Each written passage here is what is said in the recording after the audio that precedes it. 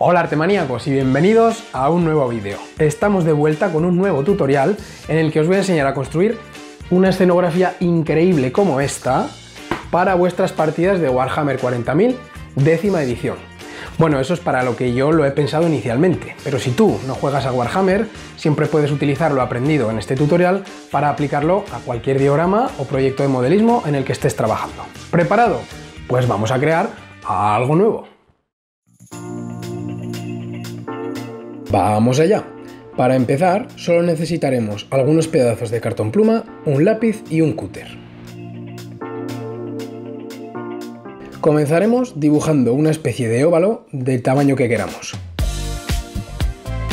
Y continuaremos dibujando otros de forma similar, pero cada vez más pequeños hasta llegar a la mitad más o menos. A partir de ahí empezaremos a hacer los grandes de nuevo.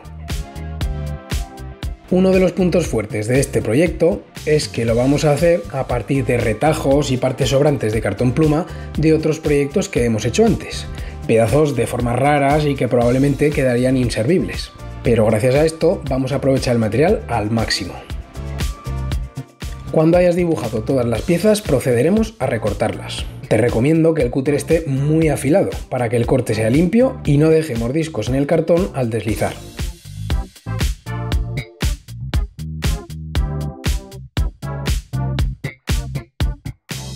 Por cierto, el cartón pluma que estoy usando es de un centímetro de grosor. Como verás, he numerado las piezas para saber el orden en el que van colocadas. Te recomiendo que lo hagas porque llega un momento que te juntas con un montón de piezas y conviene saber dónde va cada una. Lo que estamos intentando crear es una de esas estructuras rocosas tipo desierto del Colorado, ¿sabes, no? A lo que me refiero. Esos bloques de roca rojiza, altos, estrechos y de peculiares formas talladas por el viento y la lluvia. Pues eso, para rematar esta torre entre comillas, cortaré un par de piezas más pequeñas que irán colocadas arriba del todo. Mira, así es como queda la pieza una vez que todas las partes están cortadas. En este vídeo voy a mostrarte el proceso completo de cómo hacer esta pieza en concreto, pero es cuestión de echar la imaginación y hacer otras de formas y tamaños distintos. Bien, sigamos. Cuando están recién cortados los discos tienen este aspecto, y al apilarlos unos sobre otros no se ven naturales porque el borde es recto. Por eso vamos a lijar los bordes en ángulo, primero de un lado y luego del otro. Cuando hayas terminado se verán así, haciendo que visualmente no se vea tan artificial. Sí, estoy usando una lijadora eléctrica, lo cual me facilita muchísimo el trabajo. Si no tienes una, puedes hacerlo a mano frotando contra una lija que coloques plana sobre una mesa. Te costará mucho más tiempo y esfuerzo, pero el resultado es el mismo. De todas formas, seguro que conoces a alguien que pueda prestarte una lijadora eléctrica. Pídesela, porque si pretendes hacer una mesa completa, te va a costar un buen rato lijar todas las piezas y hacerlo a mano sería demasiado. Bien, siguiente paso. Cuando hayas lijado todas las piezas es momento de pegarlas. Lo más fácil y rápido es hacerlo con pegamento de barra. El conjunto es muy ligero y si te ayudas de unos palillos de madera para asegurar la fijación será más que suficiente. Por último, antes de continuar, prepararemos una base para la pieza. Para ello usaremos un trozo de cartón pluma, solo que esta vez de 5 milímetros de grosor. Colocamos la pieza sobre la base y dibujamos una línea alrededor de la parte de abajo dejando un pequeño margen un centímetro o un centímetro y medio será suficiente. Lo cortamos con el cúter tal y como hemos hecho antes y pegamos el conjunto. Ahora vamos a empezar a texturizar la superficie. Para ello echaremos unos buenos chorros de loctite y espolvorearemos por encima piedrecillas de varios tamaños, pequeñas, medianas y grandes. Y así es como nos queda la pieza. Ahora solo hay que esperar unos minutos a que se seque. Mientras tanto, mira, te muestro otros modelos que he preparado. Algunos son más grandes, otros más pequeños, con dos columnas, con tres, con puentes entre ellas. Busca fotografías de referencia que te sirvan de inspiración y sé creativo.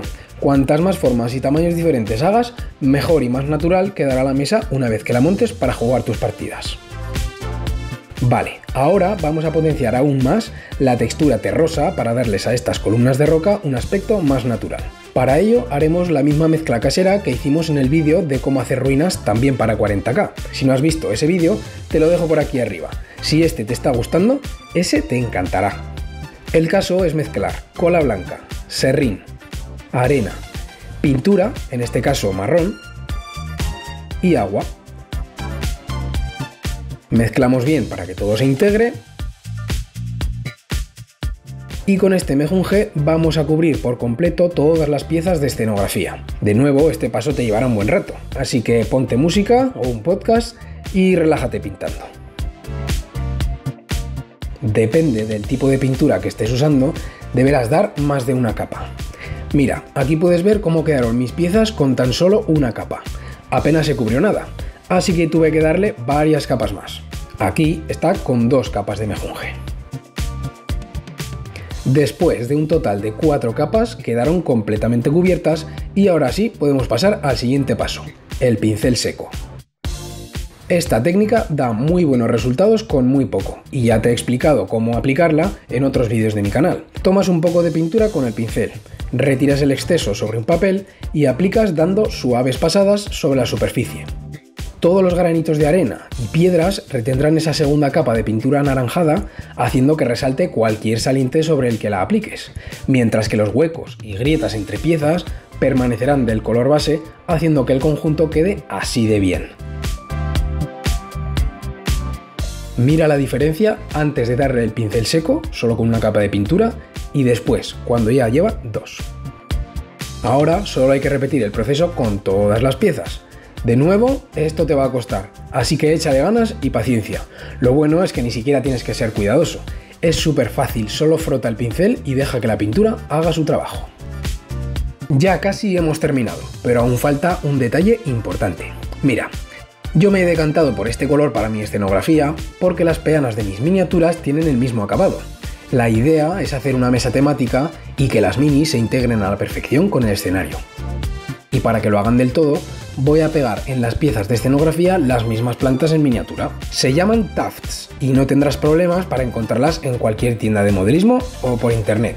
Las hay de mil tamaños y colores diferentes. Son muy fáciles de poner, solo hay que despegarlas de la alfombría en la que vienen aplicar una gotita de loctite y hacer un poco de presión con las pinzas. Le aportarán naturalidad a las piezas y además un toque de color verde que contrastará con el marrón de la tierra, haciendo que el conjunto luzca espectacular. Con esto sería suficiente y podríamos dejarlo aquí, pero ya sabes que en este canal hacemos las cosas bien y con esto último vamos a hacer que el trabajo sea realmente profesional y parezcan piezas compradas.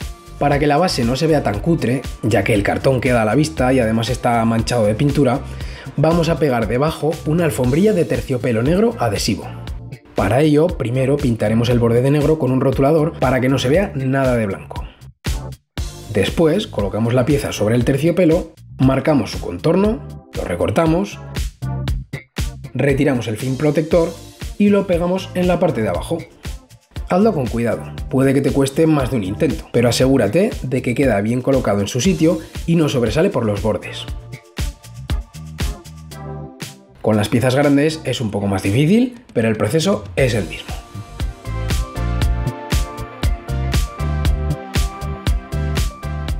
Y con eso ya lo tenemos. Aquí te dejo una muestra de algunas de las piezas que componen la mesa. Mira qué pasada de escenografía hemos hecho con un poco de tiempo y materiales súper baratos. Así que ya sabes, pásale este vídeo a un amigo y poneos entre los dos a haceros un conjunto de escenografía como este. En un par de tardes lo tendréis listo y a jugar.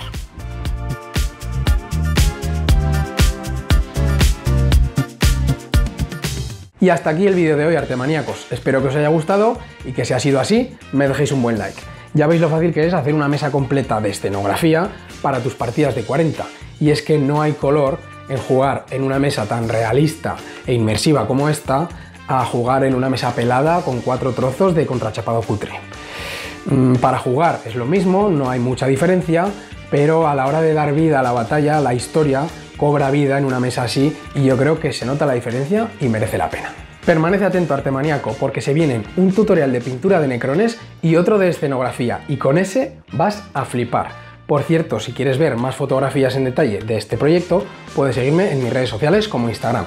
Así que bueno, y aquí en YouTube, dale a la campanita y suscríbete para no perderte ninguno de esos vídeos. Nos vemos en el siguiente. ¡Hasta la próxima!